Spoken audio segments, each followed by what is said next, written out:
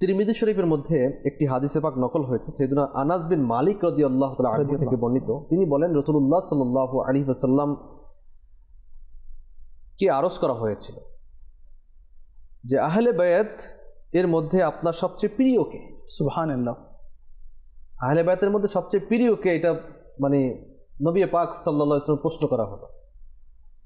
তো নবী পাক সাল্লাহ ইসলাম ইরশাদ ফরমালেন হাসান এবং হুসাইন রদি আল্লাহ তালা আনহুমা সুবহান সুবহান প্রিয় নবী সাল্লাহ ইসলাম মা ফাতেমুজ জাহর রদি আল্লাহ তালা আনহাকে ইরশাদ করতেন আমার সন্তানদেরকে আমার নিকট ডাকো অথবা তাদের ঘ্রাণ নিতেন এবং নিজের বুকের সাথে জড়িয়ে দেন। আল্লাহ আকবার। এখান থেকে একটি জিনিস স্পষ্ট। নবী পাক সাল্লাহ আলী ইসলাম যাকে ভালোবাসেন জি। যার ঘ্রাণ নেন যাকে চুমু দেন এবং যাকে বুকে জড়িয়ে ধরেন।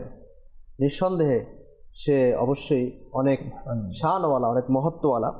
হাকিমুল উম্মদ মুফতি আহমদ ইয়া খান নাইমি রহমতুল্লাহ আলাই এই হাদিসের পাকের ব্যাখ্যার মধ্যে বলেন জি।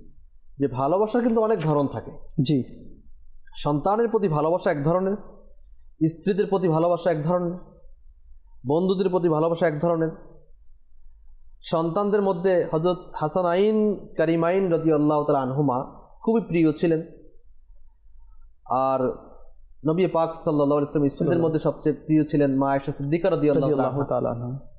এবং আল্লাহ তালা মাহবুব সাল্লাহ ইসলামের অধিক প্রিয় বন্ধুদের মধ্যে আমিল মোমিন আবু বকর সিদ্দিক রদি আল্লাহ আনহু খুবই প্রিয় ছিলেন। তিনি আরও বলেন হুজুর সাল্লাহ ইসলাম কেনই বা তাদের মানে ঘ্রাণ শুকবেন না ঘ্রাণ নিবেন নেবেন না জি। মুফতি আহমদ খান নাইমি বলতেছেন যে তারা উভয়ই তো রসুল্লাহ সাল্লাহ আলি সাল্লামের বাগানের ফুল। সুহান সেজন্য ফুলে তো ঘ্রাণই নেওয়া হয়। ইবনে মাজার শরীফে রয়েছে রসুল্লাহ সাল্লাহ তাল আলহি ওয়ালিহি ওয়াসাল্লাম ইরশাদ করলেন যে, হাসানান কারিম্যানকে আমি ভালোবাসি। আর যারা এই দুইজনের সাথে শত্রুতা পোষণ করে, মূলত সে আমার সাথেই শত্রুতা পোষণ করে।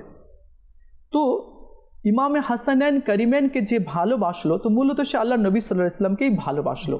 আর যারা এই উভয় দুইজনের সাথে শত্রুতা পোষণ করল তো আল্লাহ নবী সাল্লাহ আলী ওয়াসাল্লাম ইরশাদ করেন তারা আমার সাথেই শত্রুতা পোষণ করল। আর আল্লাহ নবী সাল্লাহ তাল আলিহি ওয়া আলিহি ওয়াসাল্লাম ইমাম হাসান নদী আল্লাহ তালাহকে চুম্বন দিতেন ঘাড়ে বসাতেন।